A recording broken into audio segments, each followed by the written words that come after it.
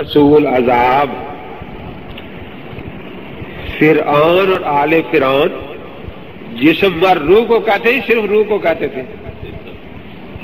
جی؟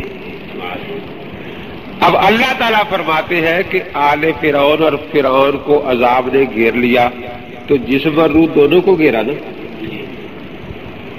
تین عذابوں کا ذکر آیا، ایک تو غرق کرنے کا عذاب، ان کو غرق کر دیا گیا نا۔ تو جب غرق کیا گیا اس میں جسم اور روح دونوں شریک تھے، عذاب نہیں یا کسی ایک تیسری دوسرا عذاب جو ہے ارض نار سے کہ داخل نہیں کیے گئے، لیکن آگ پر ان کو تپایا جا رہا ہے۔ دوزک سے باہر قبر میں اسی کا نام عذاب قبر ہے۔ تیسرا فرمایا کہ قیامت کو حکم آپ دو آگ میں داخل کر دو۔ تو قرآن پاک نے بالکل صاف صاف الفاظ میں ان عذابوں کا ذکر فرمایا ہے۔ اللہ کے پاک پیغمبر صلی اللہ علیہ وسلم نے اس عذاب کا نام رکھا ہے۔ ایک تو عذاب قبر رکھا ہے، کیونکہ قبر میں جسم رکھا جاتا ہے۔ اور ایک عذاب برزخ رکھا ہے۔ ان کے پاس اور کچھ نہیں ہوتا، قرآن کا نام تو بالکل جھوٹ بولتے ہیں۔ قرآن ان کے پاس قطر نہیں ہے ان مسائل میں احادیث بھی نہیں ہے۔ اکری ڈکوسرے ہوتے ہیں، جو جسم گل سڑ جاتا ہے جی جس کو قبر نہیں ملتی، اس کا کیا بنتا ہے؟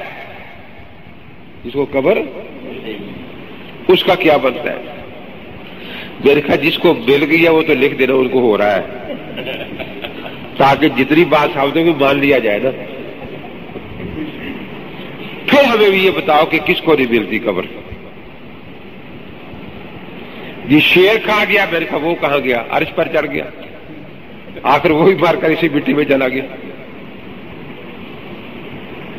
قبر ہر کو ملتی ہے، دیر سویر ہو سکتی ہے۔ قرآن نے فیصلہ کر دیا ہے کہ منہا خلق رکھوں و فیحا و منہا نخر جو کم تارا تن قیامت کو سارے قبروں سے اٹھے گے نا۔ تو کسی یاد میں آتا ہے کہ ایک شیر کے پیٹ سے نکل کر بھاگا آ رہا ہوگا۔ ایک ہوائی جہاز سے اتر کر بھاگا آ رہا ہوگا۔ بھائی وہ شیر بھی آ کر یہی چلا گیا نا۔ ہے کون جس کو قبر نہیں ملی؟ آ کر ہیر پھر کے سارے یہی چلے گئے۔ وہ شیر بھی یہی چلا گیا۔ ساؤتھ افریقہ جب میں گیا تو ایک نے مجھ سے سوال کیا کہ آج کل مرنے والا مسیح کر رہے میری آنکھیں اس ادے کو دے دینا۔ اب ان آنکھوں کو عذاب ہوتا ہے یا نہیں ہوتا؟ میرے کہا ہوتا ہے۔ اسے تو درد نہیں ہوتا۔ میرے کہا وہ تو عذاب پردے میں ہے نا۔ اس کو نہیں محسوس ہوگا۔ پردے میں دوں گا میں نے کہا، تیرے پیٹ میں کیڑے ہو اور تجھے ڈاکٹر دوائی دے دے، اب ان کیڑوں پر کیا گزر رہی ہے؟ کتنے مر رہے ہیں، کتنے اچھل کود پیٹ میں کر رہے ہیں، لیکن تو نہیں اچھلتا کودتا۔ تجھے بھی درد ہو رہا ہے اس کو۔ وہ تو درد انہیں کو ہوا نا۔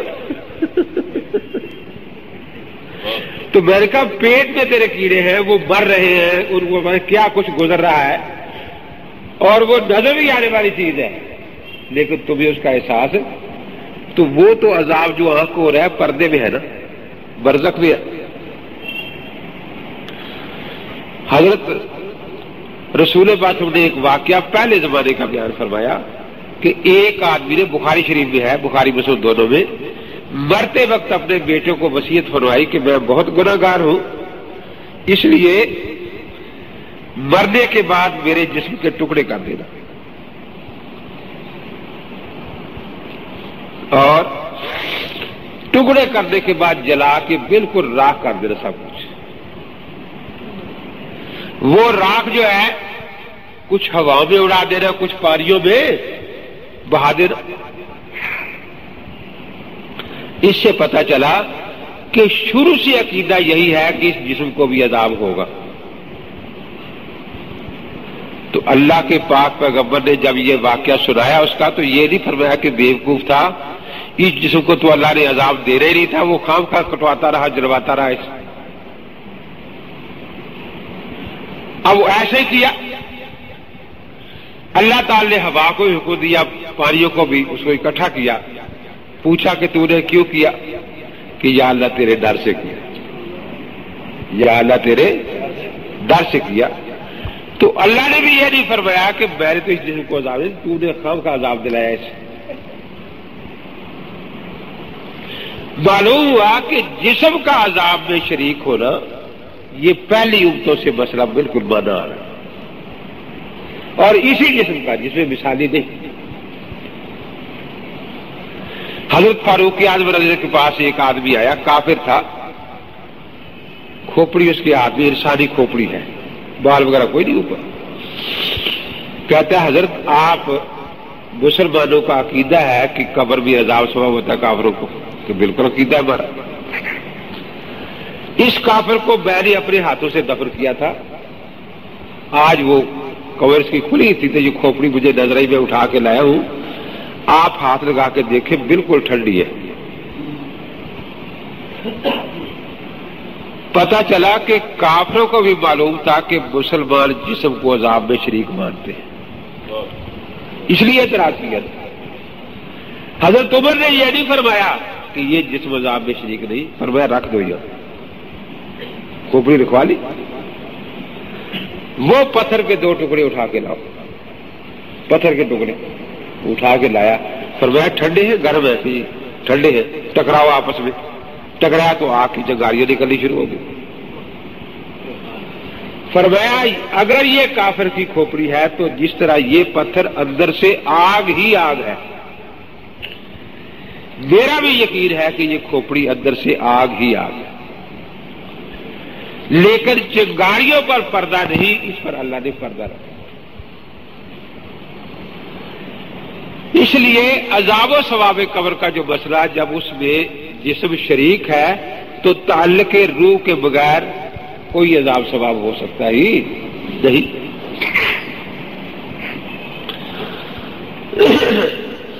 ان کے پاس جو کوسلے ہوتے ہیں جی جسم گل جاتا ہے، یہ ہو جاتا ہے، جس کو نہیں ملی اس کا کیا کرے؟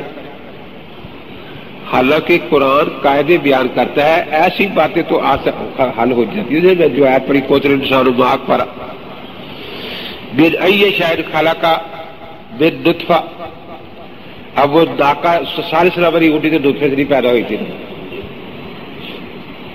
یا ہوئی تھی۔ جی آدم علیہ السلام، حضرت ہوا ایسے اس طرح سے قاعدے پر کوئی اثر نہیں پڑا کرتا۔ لیکن یہ لوگ ایسی باتیں نکال نکال کے قاعدوں کو توڑنے کی کوشش کرتے ہیں۔ قاعدہ اپنی جگہ قاعدہ ہوتا ہے اور جو عادت ہے عادت ہے، جو خر کی عادت ہے، وہ خر کی عادت ہے تو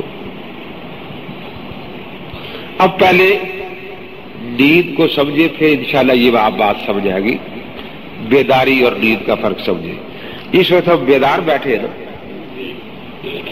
یہ ہماری زندگی ہے نہیں۔ اس زندگی میں ہماری روح پر تین ذمہ داریاں۔ کتنی؟ پہلی ذمہ داری ہے احساس و ادراک.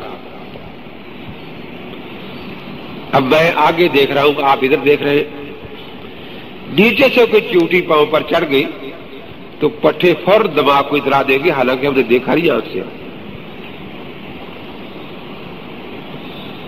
دماغ فور دل کو حکم دے گا اور ہاتھ جا کر کیڑی کو مسل دے گا وہاں۔ اس کو کہتے احساس اور ادراک۔ ایک ذمہ داری یہ ہے۔ دوسری ذمہ داری ہے تدبیر بدن اس نے کھانا لینا مانگنا ہے ہزم کرنا ہے، پھر پٹرول مہیا کرنا ہے۔ تاکہ جسم چلتا رہے۔ بشیر اپنا کام۔ تیسری ہے تکلیف شری اس وقت ہم شریعت کے بھی پابند بیٹھے، قانون کے بھی پابند بیٹھے۔ ہم جو بات منہ سے نکالیں گے، اللہ تعالیٰ بھی کیا ان کو پوچھے گے، یہ بات صحیح تھی یا غلط؟ تھی گورنمنٹ بھی پکڑے گی بھی تیری یہ بات قانون کے خلاف ہے۔ تو ہم تکلیف شریف تین ڈیوٹی ہے، بیداری میں۔ جب ہم سو جائیں گے، ایک ڈیوٹی ختم ہوگی۔ اب کوئی تکلیف شریف ہم پر نہیں۔ کبھی نہیں سنا ہوگا کہ پولیس نے اس کا چلان کیا کیوں؟ اس نے خواب میں چوری کی تھی۔ اس نے خواب میں قتل کر دیا تھا۔ جب سو گیا نہ کوئی چیز فرض نہ واجب نہ سنت نہ پوچھتا نہ حرام نہ بکرو یہ سب بیداری میں ہے۔ ہم بیٹھے یہاں سے عورت گزری، اس کو گور کر دیکھا گنا ہوگا یا نہیں ہوگا؟ اور خواب بھی آخر تک چلے گا کوئی گنا ہوا کیونکہ خواب میں کوئی چیز حرام حلال ہے ہی بیداری میں صرف آنکھ سے دیکھا لان اللہ ناظر منظور خدا کی لانچ برسنی شروع ہوئی حدیث کرسی میں ہے، اندر و شام بسمن سے ہاں ابلیس۔ یہ نظر جو ہے، شیطان کے تیر میں، مجھے تیروں میں سے ایک تیر ہے۔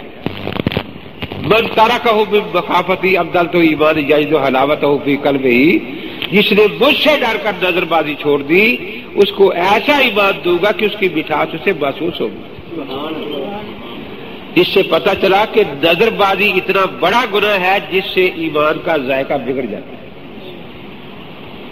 ایمان کا ذائقہ بگڑ جاتا ہے۔ اب بیداری میں تو نظر بازی پر یہ اتنی لان سے برس رہی ہے۔ اور خواب میں سب کچھ کر کے کچھ بھی نہیں۔ تو اب خواب میں اس کی ایک ذمہ داری کم ہو گئی نا۔ تو اس کے احساس ادراک بڑے یا گٹے بڑے یا گٹے اب یہ نوجوان بیٹھا ہے۔ کہ بولا ادھر ہی ہے تو۔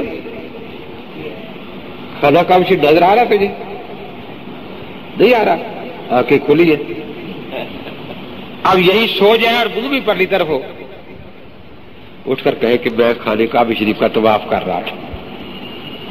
ہم بات جائیں گے یا نہیں؟ اس بیداری میں روح دیکھنے کے لیے آنکھ کی محتاج ہے اور خواب بندہ بھی دیکھ رہا ہے۔ اس بیداری میں روح چلنے کے لیے ٹانگ کی محتاج ہے اور خواب میں جس کی دونوں ٹانگیں کمیوں کٹیوں سب سے آگے بھاگتا جا رہا ہو۔ آنکھیں بالکل نکال دی آپریشن کر کے ڈاکٹر نے۔ پھر بھی وہ دیکھ رہا ہے خواب دیکھ رہا ہے۔ نا تو خواب میں روح دیکھنے بھی آنکھ کی محتاج رہتی۔ روح نکل جاتی ہے خواب میں۔ تو ایک فرق تو یہ ہوا کہ ایک ذمہ داری ختم ہو گئی۔ دوسرا یہ یہ جو بیداری کی زندگی ہے، بات میری سمجھ آ رہی ہے آپ یہ کھلی ہے، یاد اس کو کہتے کھلی۔ جو بیٹھا ہے، وہ بیٹھا نظر آ رہا ہے، جو لیٹا ہے، وہ لیٹا نظر آ رہا ہے، جو کھڑا ہے، وہ کھڑا نظر آ رہا ہے۔ جو رقو میں ہے وہ رقو میں نظر آ رہا ہے، جو سجدے میں وہ سجدے میں نظر۔ جب ہم سو جائیں گے تو آدھی زندگی کھلی رہی، آدھی چھپ گئی۔ ہم کروٹ بدل رہے ہیں، دیکھ رہے یہ کروٹ بدل رہا ہے۔ ہم خارش کر رہے سو یوں تو دیکھ رہا دیکھ رہا کہ خارش کر رہے دبا چل رہی ہے۔ سانس آ رہی ہے، خراٹے لیے جا رہے اتنی زندگی کھلی ہے۔ لیکن ہم نماز پڑھ رہے۔ وہ کہتا سویا ہوا ہے۔ ہم ہوائی جہاز پر چڑھ گئے خواب میں۔ دیکھ رہے کہتے چٹائی پر لیٹا ہوں۔ ہم اٹھ بیٹھے وہ سانپ تھا کہتا مچھر بھی نہیں آدھی زندگی کھلی رہی اور آدھی چھپ گئی۔ اب یہ جو زندگی چھپ گئی، جو کچھ روح دیکھ رہی ہے، کر رہی ہے، اس میں بھی چھپی زندگی میں بھی جسم شریک ہے۔ چھپی میں بھی جسم شریک ہے، جسم کے بغیر روح کچھ نہیں کر سکتی، یاد آپ کہیں گے، کیسے پتا چلے جسم شریک ہے؟ دیکھو نا، روح ساری کاروائی کرتی رہی، آخر میں جسم بھی ناپاک ہو گیا۔ حالانکہ دیکھنے والے دیکھا کہ کون آئی تھی، کون لیٹی اور کون اڑ کے گئی ہے یہاں سے کیونکہ وہ پردے میں ہے نا۔ لیکن جو جسم کے روح پردے میں کام کر رہی ہے، اس میں بھی جسم باقاعدہ شریک ہے۔ یہ یاد رکھے کہ جسم اس جسم کے تعلق کے بغیر روح کچھ کر سکتی ہی نہیں، نہ کچھ بول سکتی۔ صرف روح کو زندہ ماننا یہ قرآن و حدیث کا انکار ہے۔ پھر یہاں رکاوٹیں ہیں، یہ دروازہ بند ہو جائے، ہم نہیں نکل سکتے۔ لیکن وہاں کوئی رکاوٹیں نہیں حال میں خواب جہاں جائے پھر۔ حضرت پاک کا لمبا خواب بخاری شریف میں ہے۔ بہتی شریف پہلی کہانی وہی ہے کہ حضرت پاک کا جہد اطر مدینہ منورہ میں آرام فرمایا۔ آپ کی روح پاک دوزک کی سیر کر رہی ہے۔ جدت کی سیر کر رہی جب روح پاک دوزک کی سیر کر رہی ہے، تو یہاں سانس چل رہی تھی، نہیں چل رہی تھی۔ کروٹیں بدلی جا رہی تھی، نہیں بدلی جا رہی تھی۔ کھانا ہزم ہو رہا تھا یا نہیں ہو رہا تھا؟ جب جنت میں سیر کر رہی تھی تو یہاں تعلق تھا یا نہیں؟ تو یہ خواب میں روح جہاں بھی ہو، عالم خواب میں اس کا تعلق جسم کے ساتھ ہوگا۔ تو جو روح جنت میں جا کر مدینہ شریف میں تعلق قائم رکھ سکتی، وہ لیر میں جا کر نہیں رکھ سکتی۔ اس لیے روح کے تعلق کی نفی قطر قیامت تک ثابت نہیں کر سکتے اب جب قبر میں چلا گیا تو روح کی ایک اور ذمہ داری ختم ہو گئی۔ صرف ایک ذمہ داری رہ گئی روح کی۔ اب قبر میں نہ اس پر کوئی چیز فرض ہے، نہ واجب، نہ حرام، نہ بکرو اب تدبیریں بدل بھی اس کے ذمہ نہیں ہے کہ کھانا مانگنا ہے ہزم کرنا ہے پٹرول مہیا کرنا ہے یہ بھی اس کے ذمہ نہیں اب روح کی پوری توجہ صرف احساس و ادراک کی طرف ہوگی اس لیے وہاں احساسات اتنے تیز ہوں گے وہ صرف سنتا نہیں تم سے زیادہ سنتا ہے۔ دہلاسما میں آپ فرشتوں کی باتیں سن سکتے ہیں ادھر فرشتوں کے سوال جواب سن رہے ہیں، ادھر جوتری کی آواز بھی سن رہے ہیں۔ تو ادراکات تیز ہوئے نا۔ کیونکہ اب روح کی پوری توجہ ہے صرف ادراک کی طرف۔ اور پھر اس کی ڈیوٹی ہے ہی نہیں۔ نہ اب اس نے تدبیریں بدل کر دی ہے کھانا ہزم کرنا ہے، نہ اس پر کوئی فرض، واجب اور سن یہاں بھی یہ بھی یاد رکھے کہ افضل ترین زندگی یہ ہے جو بیداری والی ہے۔ ترقی اور نظر کا سارا مدار اسی پر ہے۔ یا جو نیکی کریں گے، اس کا ہمیں اجر ملے گا، وہ درجے بڑھ رہے ہیں۔ خواب میں جو کریں گے، کوئی درجہ نہیں بڑھتا نہ کوئی گناہ ہوتا تو سب زندگوں میں افضل حصہ یہ ہے جو بیداری والا ہے۔ اس کی ہر نیکی پر اجر ہے، ہر گناہ پر عذاب ہے۔ لیکن آگے جو خواب کی زندگی ہے، اس میں کوئی عذاب و ثواب نہیں۔ جو چاہے کرتے رہے۔ اب دید میں بیداری میں ساری زندگی کھلی تھی۔ دید میں آدھی کھلی، آدھی قبر میں جا کر ساری چوک گئی۔ اب جو کچھ وہاں جسم پر گزرے گا، ثواب ہو یا عذاب ہو، ہمیں نظر۔ اللہ نے فرما دیا وہ بے وراہ برز الا یوم یو باسوس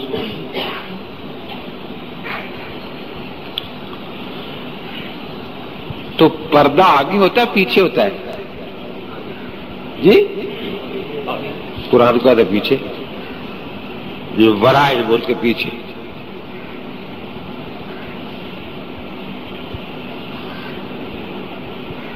پردہ آگے ہوتا ہے، پیچھے۔ قرآن کہتا ہے پیچھے۔ اس بات کو سمجھے، کیوں قرآن نے ورائے فرمایا؟ دیکھو، عورت کے چہرے کا پردہ ہے۔ اور سامنے سے گزری۔ اس نے ہمارا چہرہ دیکھا ہم نے اس کا دیکھ لیا تو سب کہتے ہیں کہ عورت بے پردہ ہے۔ دوسری گزری اس کا چہرہ پردے میں تھا ہم نے اس کا چہرہ نہیں دیکھا۔ اس نے ہمارا چہرہ دیکھا یا نہیں دیکھا؟ پھر بھی کہتے ہیں یہ عورت با پردہ ہے۔ کیوں؟ پردے کا تعلق اس کے چہرے سے ہے۔ ہمارے چہرے سے نہیں۔ پردے کا تعلق ہم پچھڑوں کے ساتھ ہے کہ اس کا عذاب سباب اگر ہمیں نظر آ جائے گا تو ہمارا ایمان بھی لگایا ختم ہو جائے گا۔ وہ ہمیں دیکھ لے گا، اس کا کچھ ختم نہیں ہوگا۔ جیسے عورت نے ہمیں دیکھ لیا تو اس کے پردے پر کوئی اثر نہیں پڑا نا۔ اس لیے برائے گیا کہ اب تمہارے لیے پردہ ہو گیا اس کے عذاب کا کیونکہ اگر تم دیکھ لو گے اس کا عذاب و ثواب تو ایمان ختم ہو جائے گا ایمان کا تعلق غیب کے ساتھ ہے۔ آج ہم ایمان رکھتے ہیں کہ جنت ہے، دوزخ ہے، اس کا نام ایمان ہے۔ قیامت کو کافر دوزخ کو دیکھ کر مانے گا یا نہیں؟ اس کا نام ایمان نہیں ہوگا۔ اس کا نام ایمان، کیونکہ اپنی آنکھ کو مانا خدا کو نہیں مانا خدا کے رسول کو نہیں مانا اب یہ جو کہتے ہیں، جس طرح میں نے بتایا کہ خواب میں نکال دو آنکھ پہ بھی دیکھ دیکھ رہی ہے نا؟ جی وہ آنکھ گل گئی، اب کیسے دیکھتی ہوگی جی؟ اب کان گل گیا جی کیسے سنتا ہوگا جی؟ جیسے خواب میں روح محتاج نہیں رہی، حالانکہ ابھی ایک ذمہ داری اس کی کم ہوئی تھی۔ تو جہاں دونوں ذمہ داریاں کم ہو گئی۔ اب یہ تو کہتے ہیں کہ جی رو گئی، سب کچھ لے گی اب آدمی نہ سنتا ہے، نہ دیکھتا ہے، نہ چلتا ہے۔ لیکن جب قبر میں واپس آئی تو پھر کیوں نگی ہو کے آئی؟ سب کچھ لے کے آئی ہوگی نا۔ پھر کیوں نگی ہو کے آئی؟ تو اتنا تعلق جس سے عذاب ثواب کا شدید ترین احساس ہو، یہ تو ہر انسان کی روح کو قبر کے ساتھ۔ اور ہم اس احساس کا یہاں تصور بھی نہیں کر سکتے۔ دیکھو یہاں تھوڑی سی مثال ہے کہ اس وقت روح ہمارے پورے جسم میں ہے نا۔ بالوں میں بھی ہے، اس لیے بڑھ رہے ہیں۔ نا میں بھی ہے۔ لیکن بال کاٹنے سے دکھ نہیں ہوتا۔ ہاتھ پر یہ میں نے اتنی کتاب اٹھائی ہوئی ہے۔ کوئی تکلیف نہیں۔ یہ چھوٹا سا کال میں آنکھ میں یوں مار لو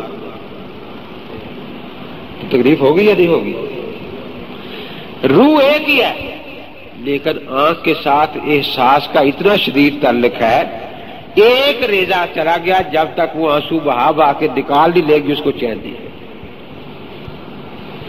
تو جس طرح یہاں آنکھ کے ساتھ شدید تعلق ہے روح کا، وہاں چونکہ سارا تعلق ہی احساس ہے، اس لیے اتنا شدید تعلق ہوگا عذاب ثواب کا۔ وہاں کی لذت کا احساس اتنا شدید ہوگا کہ ہم یہاں تصور کر ہی نہیں سکتے۔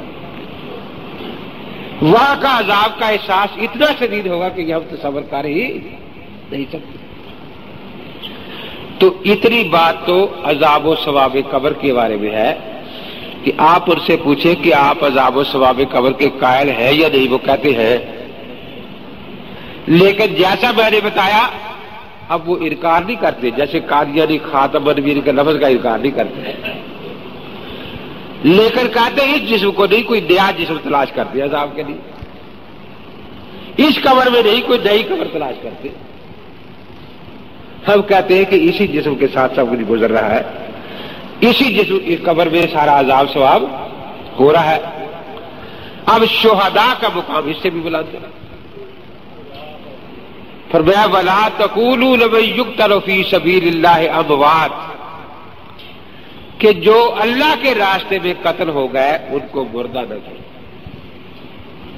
اب جب قتل ہو گئے، روح نکل گئی ہے نہیں؟ کل نفس ذائقت الموت کا وعدہ پورا ہو گیا یا نہیں؟ ہو گیا نا؟ دیکھو، ہم موت کا انکار نہیں کرتے۔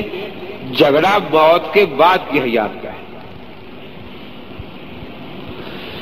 ایک دن میں ایک بس اسٹینڈ پر بیٹھا تھا تو دو آدمی مجھے دیکھ رہے تھے، دور بیٹھے، پھر آئے گئے کہ جی آپ کا نام امید صاحب ہے میرے ساتھ کہتے ہم بھی اسکول ٹیچر ہیں۔ تو ہم گئے تھے چلا لگانے تبلیغی جماعت کے ساتھ۔ ایک جگہ بوری صاحب کہتے تھے کہ شیخ الدیس جو مولانا زکریہ صاحب ہے یہ قرآن کے منکر ہیں۔ کیسے؟ کہ قرآن کہتا ہے کہ نبی مردہ ہے ان کا بیت و بیت اور شاول اس کا تھا زندہ ہے۔ کہتے ان کو تو ہم نے کہہ دیا تھا کہ شاول اس کو قرآن تم سے زیادہ آتا تھا۔ لیکن ایک وسوسہ ڈال دیا انہوں نے، کہتے آپ تجھے دیکھ کر ہمیں یاد آیا کہ ابھی سب بیٹھے پوچھ لے جا کے۔ میرے کہا اس آیت کا، اس مسئلے سے کوئی تعلق نہیں۔ ہم یہ تو آیت وہاں پیش کریں جو کہتے ہو کہ موت آئی ہی نہیں۔ جب موت آ گئی، یہ وعدے پورے ہو گئے نہ کبھی تو نہ ہوئی تھی اس کے بعد کیا حالت بات تو اس بات پر میں نے پوچھا، آپ کی عمر کی جگہ تو چالیس سال۔ میں نے کہا، چالیس سے سال سے پہلے جو تیری حال تھی، اس کو قرآن موت کہہ رہا ہے۔ کیا فتح خور رب اللہ وکن تم اب واتن فاہیا اب اس کے بعد چالیس سال سے اللہ نے تمہیں زندگی دے دی ہے. اب تم امواتن کے مستاق ہو یا یاقوب کے؟ تو جیسے اس موت کے بعد یہ زندگی ہے، اس طرح اس موت کے بعد اگلی زندگی ہے. یگ تالوں میں موت آ گئی، بل آہ یا میں زندگی آ گئی۔ تو میرے کہا اس کا زمانہ اور ہے اس کا زمانہ اور ہے۔ یہ تو وہاں سنا ہے جو موت مانتے نہ ہو۔ ہم کہتے موت کے بعد اللہ نے ہی یاد تھا فرمائی۔ تو وہ آپ کو کتاب ہی نہ جائے نا، لمبا بیان ہو جائے۔ ایک لطیفہ یاد آیا۔ نمازی کس میں یاد ہے آپ کو؟ کسی نے لکھا کہ نمازیوں کی چھ قسمیں ہیں۔ اصلی وسلی فصلی۔ آٹھ کے، کھاٹ کے، تین سو ساٹھ کے۔ اصلی تو وہ ہے جس پر کسی مدرسے والے یا تبلیغی جماعت والوں کا ہاتھ پھر گیا، وہ پانچوں نمازیں باج مار پڑتی وصل میں نے ملاپ ہوتا ہے۔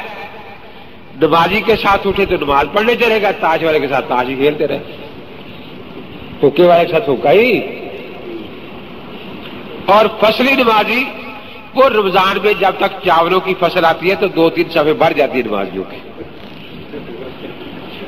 وہ فصلی بٹیرے آتے رہتے ہیں۔ جس دن چاول ختم ہو گئے، پھر اگلی فصل پر آئیں گے۔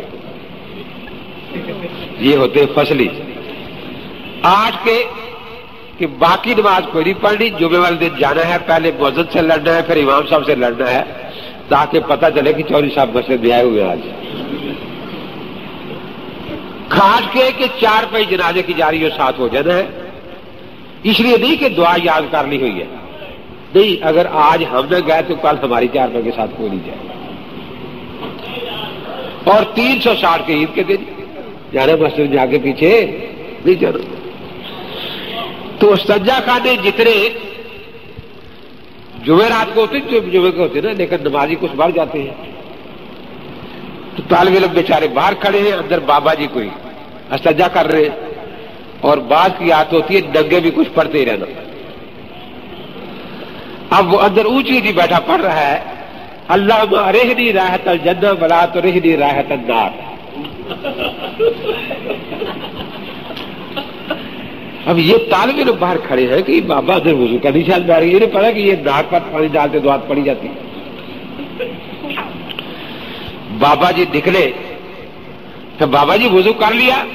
وضو کہاں کیا؟ استنجا کیا؟ کہ دعا کون سی پڑھ رہے تھے؟ سنا دی کہ بابا بڑا استنجا کیا، چھوٹا کہ بڑا استنجا کہ بابا جی دعا تو آپ کو یاد ہے، لیکن دعا کا سوراخ بھول گیا آپ۔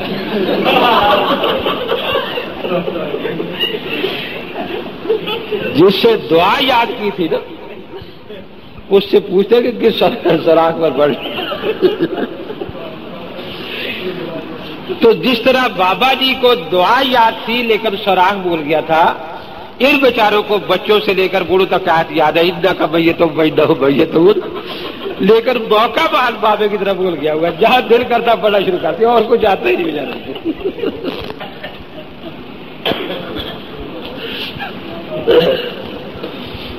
تو دیکھیے یگ تالو جب آیا، تو روح نکل گئی نا۔ موت کے وعدے پورے ہو گئے نا۔ اس کا کوئی انکار نہیں کرتا۔ حدوان پہ کہ موت آتی ہے۔ اب یگ تالو جملہ پھیل لیا ہے۔ اور پھر ایک زمانے کے ساتھ تعلق رکھتا ہے۔ اب سوال یہ ہے کہ یہ جو موت آئی ہے، یہی حالت آگے جاری ہے یا بدلے گی؟